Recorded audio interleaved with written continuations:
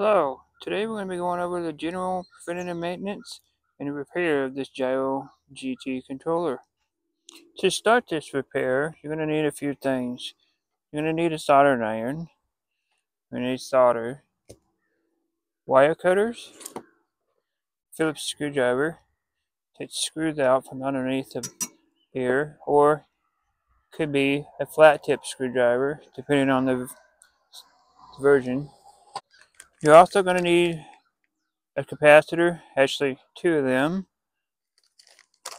and optionally, probably what you need to do is order new relays as well. A rebuild of this, two capacitors and two relays, the price on that with shipping from DigiKey is $50. So if you're going to do your repair and preventative maintenance yourself, that's what it's going to cost you. It's about $50 to take and change out two relays if there's common issues with activation and or uh, safety issues. If your contacts are pretty dingy looking, you need to take and replace it. By the time that you're watching this video, you're already going to be having issues with this Gyrotech controller. You see how nice and shiny that looks inside? And how dull this looks? So, I can't tell you what a date or how long you should change out these relays. Um, this says 89 to 95. I'm guessing that's from 1989. And I would change this out before 20 years or so has expired. Okay. Take the screws out of the bottom of the, the uh, case here. I use that as a storage. And you're just going to set that to the side for now. You can see generally the door controller itself. There can be a few components here that you want to check out and change if you're having issues. So if the controller is completely dead, you have no safety, you have no activation, you can take and check this 8 amp fuse. And if that's not bad, then check this. Check your MOV. I would do this before you actually have to have any issues. Check this MOV. Part number on it is, I believe, a 150, yeah, 150L10. And you can get that from DigiKey as well. Okay. This this relay here, hardly any issues. You can the contact and check it out. If you have a motor controller issue, the motor is, is slamming open, slamming closed. I mean, this is spring fed, uh, spring closed. Check these diodes here. They should not have a short on them, as in zero ohms. And they should not be less, I would think, than 200 ohms. It should be 300 to 400 ohms minimum. Um, you can replace those with 1N5408. I believe that's what the part number was. You also have this little 33 ohm resistor here that burns up every now and then. As you can see, this has already had been the case. I bought this off of eBay, so I was kind of skeptical on how this was actually going to be repaired in the past. So that resistor there burns up quite often. Sometimes, if your relay do not pull in, you have your voltage here. It can be a bad solder joint and or these little smaller diodes here. Home them out as well. If you don't have your 24 volts going to this socket here for your activation and uh, your safety circuit, check the bridge. Input should be 120. Output should be, well, it may not be 120. It's going down through the step down transit transformer here. But it, you will get 24 volts or 27 volts probably, likely 27 volts. We're using this capacitor here to go through and filter the circuit. And you have a large, very large resistor there. If that resistor is burned up and opened up, you also will not have any activation and such. Um, If the door is clamming closed, check these resistors here. Usually it's in a set pair, so it's either going to be 20 ohms and 200 ohms, or 5 ohms and and uh, I think it's 10 ohms, or 10 ohms and 100 ohms. It could be 5 ohms and 50 ohms. I'm not sure exactly, but they're in pair, and that's how they are set up. Um, if they are open, then you change them out, and you probably might actually have a motor problem itself. Okay, that's just a general basics of just checking all these. The biggest problem you're going to have with these is cold solder joints. And I can show you a demonstration what cold solder joint looks like. Um, we will find a couple on here and show you what that looks like. Alright, so we're at the bottom side of the board. And if you look at this standoff right here, you see that half circle that is actually a bad solder joint. It's a cold solder joint. And that's what's common with these controllers. You can have bad solder joints on your motor circuit here, causing issues. Generally, when I rework these things, I am going to take and touch up all the solder with brand new solder, okay? And since this is an older uh, control box, I will not be using lead free. I will be using leaded solder. Check this part right here. It's this little resistor. You see how that's exposed? Yeah, you shouldn't be saying that. That's a bad solder joint as well. So, again, when you go through this, you want to make sure that you're going to hit solder joints up, make them look nice and pretty. If you don't like all the black brown flux around this, get a toothbrush, get some rubbing alcohol, and just hit it. Soak the board and have fun scrubbing. Okay, that's what I'm going to show you. Uh, let's check out the switches and see how well they look. They look okay. And that looks okay over here so far. Power input looks alright. Looks like they blew a trace coming in there. So, and or this could have been modified to have that MOV as well. They may have not had that MOV in begin with, and they modified it. The Gyrotech 22-0105C, I don't know if that's an actual model number of this or not, but I work for a company that's located in Harmon, Illinois. If you're watching this video and you're in the door control business, you already know what company I worked for in the past. And my opinions and thoughts of door controllers do not reflect my current employer or the people that I've worked for in the past. I'm sharing my knowledge, that way you can gain so for yourself. I'm going to take and remove these capacitors here, this three wire capacitor, and I'm going to show you the new capacitors that were installed generally when I worked for this com company in Harmon. When you go to check out the capacitors, you want to make sure you know what direction negative is. Okay? Negative is heading towards the relay socket, and negative is actually going towards the board here too. So keep that in mind when you're taking and removing these that's what we need the soldering iron for. So we're going to take and remove these. I'm actually going to use the pair of wire cutters. I'm sure you can see how dingy they are. And let's zoom out just a little bit so you can see more of the field.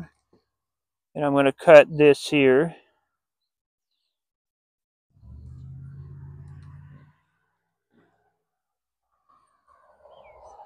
And I'm going to cut this here. That way that's gone. And I will remove that solder. And I'm gonna, there we go, that's better. Cut that. And I'm gonna cut this here. That's just a an anchor, that's all it is.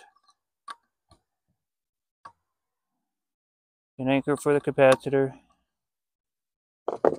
Alright, so this one's first. Um, I'm going to take and heat up one joint. I'm going to pull and then we heat up the other joint and push. And essentially that's all it is. So we're just pulling, wait, let it cool down, and then you're gonna get on this side and you're gonna push. And you notice that this pad had lifted up, and that's common. Same. And that's actually not touching it anymore. So I can take and pretty much just pull this capacitor out and it should not be connected to anything. There you have it. Let's do the same for this one over here. It's going to be this solder joint. It's going to be that solder joint. We're going to do this back and forth until everything's nice and loose.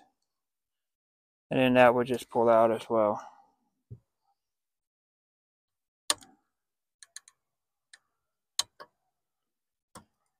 Okay. There's two additional things I forgot to tell you that you need to take and get. A toothpick. And what we're going to do with the toothpick is you're going to actually heat this solid blob up. And I'm going to do like that. I'm going to play acupuncture with the solder blob. Okay? That's what we're doing. And that creates the hole that I need for my solder. I'm going to make this lay flat and do the same. And I'm going to take and uh, let's remove this one leg.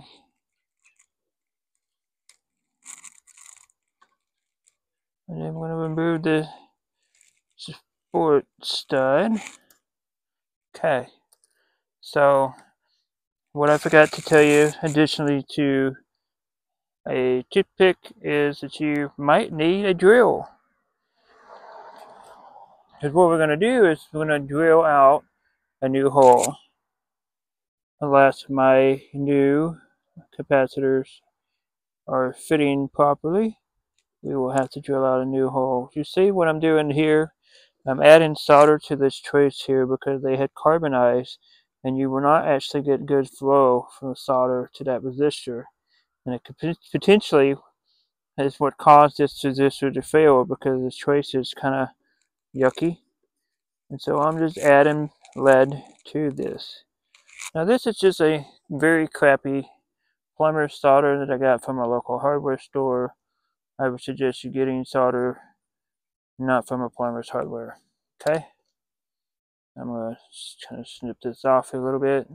There we go. Now let's talk about the capacitors. You're going to be using a 1000 microfarad 100 volt capacitor. I would get a known brand, Nichicon. It's a good brand. Now, what I was used to using in the past was much larger than these and uh, so it fits in a different hole size. Uh, you can get the part number. Should be able to see it in the video this here. Part number that. And what you're going to do is what you're going to take and you're going to take and put one leg in a hole and you're going to describe it you're going to do the same thing, negative side of the of this side, and you're going to describe it. The reason so is because you're going to have to take, and these uh, hole spacings are not accurate for the capacitors that we replace them with. Okay?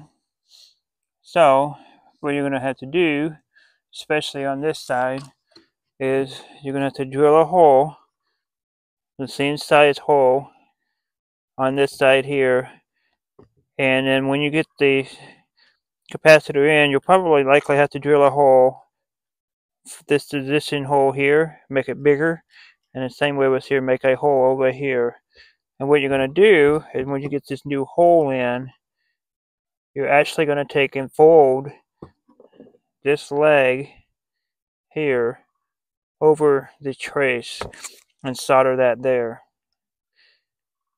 Same way with this side here you would take and you drill a hole, preferably up here, So you're not near this trace here, and you're not going to be in anywhere else. So get up here and uh, drill your hole.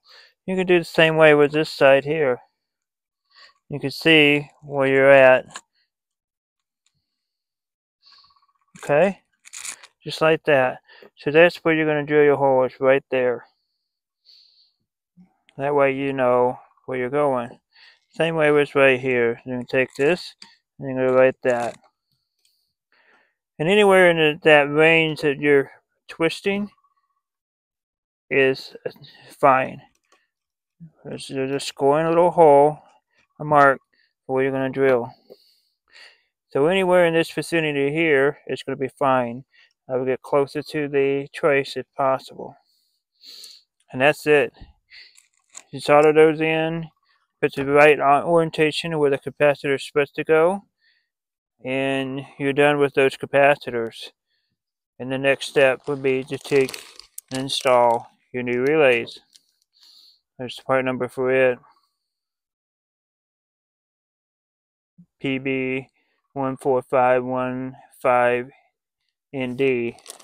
These relays are $16 a piece on DigiKey, okay?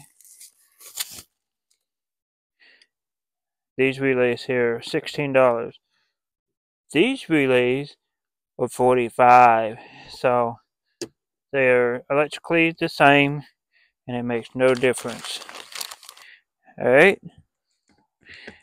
So that's what your capacitor and your relay preventative maintenance is going to be like.